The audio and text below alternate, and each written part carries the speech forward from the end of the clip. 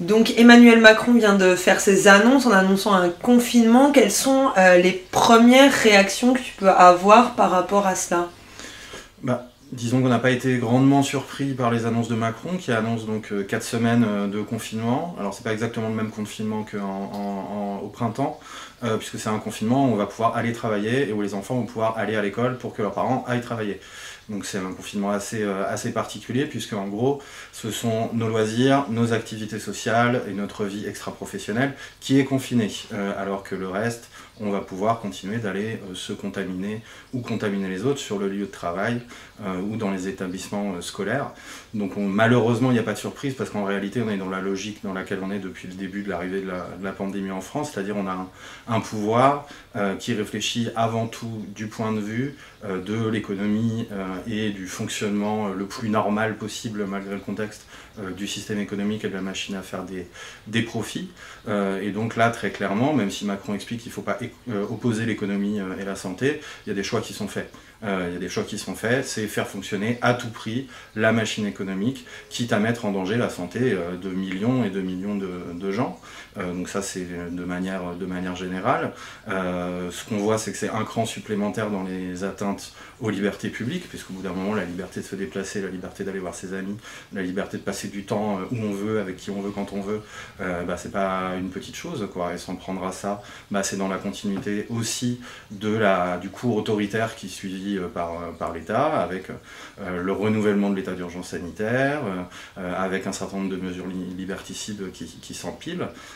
et en fait, on est, on est dans cette situation finalement, le gouvernement fait le choix euh, de prendre des mesures qui vont permettre de limiter un peu la casse euh, dans les hôpitaux, mais tout en sachant parfaitement qu'on va quand même arriver à une, saturation, euh, pour éviter d'avoir des scènes qui sont inassumables politiquement, hein, de, gens qui s'entasseraient dans les hôpitaux, etc. Donc il essaye de limiter un peu la casse, mais la priorité c'est le fonctionnement de, l'économie. et le deuxième, aspect, eh ben, c'est bien évidemment qu'on se rend compte que ce gouvernement ment. Euh, c'est-à-dire qu'ils prétendent on ne pouvait pas venir voir la deuxième vague, on a fait tout ce qu'il fallait, on a fait tout ce qu'on a pu, et c'est un mensonge. Euh, c'est un mensonge parce que la deuxième vague était annoncée, parce qu'il y a eu l'expérience de la première vague, et on a vu quels étaient les manques dans les hôpitaux, on a vu quels étaient les manques dans le système de santé, et rien n'a été fait pour que euh, les hôpitaux soient plus prêts euh, à gérer cette deuxième vague.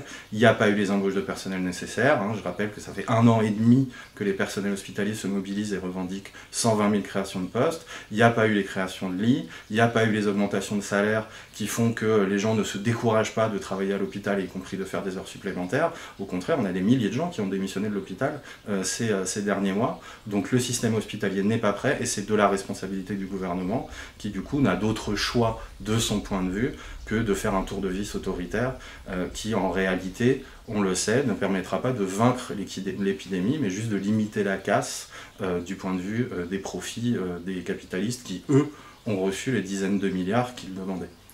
D'accord, mais même si c'est compliqué, comment est-ce qu'on peut voir des possibilités de résistance dans cette situation politique-là? Bah, disons que c'est difficile parce qu'on est dans un contexte qui n'est pas que marqué par la crise sanitaire, hein, puisque dans l'actualité on a aussi euh, les suites et les conséquences euh, de, euh, de l'assassinat de, Samuel Paty à Conflans-Sainte-Honorine le, le, 16 octobre, avec un renforcement des discours autoritaires, des discours stigmatisants, des discours islamophobes, qui affaiblit considérablement aussi nos capacités de riposte parce que ça crée dans toute une partie de notre camp social une peur de se mobiliser, euh, voilà, et notamment les personnes musulmanes ou supposées telles, euh, qui là sont dans une situation où, euh, avec la multiplication des agressions islamophobes, qu'elles soient verbales ou physiques, ben, c'est difficile en réalité de se mobiliser contre ce déchaînement auquel on assiste. Et ça, ça se cumule avec la situation de crise sanitaire, où il y a de vraies inquiétudes dans la population de ne pas choper le virus, de ne pas le refiler à ses proches. voilà. Et comme le gouvernement n'a rien fait sur la question de, sanitaire, eh ben, on est inquiet et on, serait peut-être tenté de se dire, bon bah, après après tout, euh, c'est peut-être un moindre mal, finalement, le confinement. Alors qu'en réalité, la démonstration qui est faite ces derniers mois euh, et la situation dans laquelle on est aujourd'hui, eh ben, elle est simple. C'est que si on veut lutter vraiment contre le virus, il faut se mobiliser contre le gouvernement. Il faut se mobiliser contre le gouvernement pour gagner sur les revendications sur la santé, pour gagner sur les revendications euh, sur les recrutements, sur la gratuité des tests, la gratuité des masques, toutes ces choses-là. Ça passe nécessairement par des mobilisations parce qu'ils ne comprennent que le rapport de force.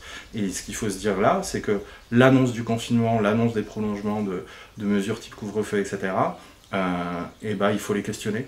Voilà, il faut les questionner parce que notre santé et nos vies, on les défendra en se battant. Euh, ce qu'il nous impose avec le confinement, c'est en fait nous empêcher de nous mobiliser. On va pouvoir aller travailler, mais on va pas pouvoir aller manifester. On va pouvoir aller s'intoxiquer euh, à l'école, mais on va pas pouvoir faire des réunions.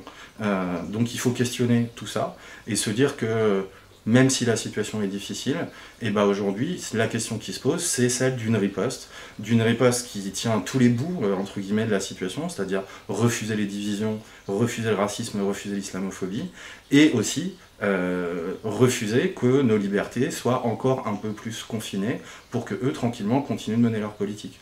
Donc voilà, la situation, elle est claire. Euh, aujourd'hui, la question est posée au mouvement social, au mouvement ouvrier, au mouvement antiraciste, de construire une riposte non pas en ignorant le contexte sanitaire, mais dans ce contexte sanitaire, et en posant les questions politiques et sociales qui seront celles qui permettront de gérer réellement la crise sanitaire et de poser la question euh, de la légitimité de ce gouvernement qui a fait la démonstration de son incapacité à gérer la crise et au contraire de sa capacité de plus en plus forte à nous monter les uns contre les autres et à faire passer euh, les profits avant nos vies.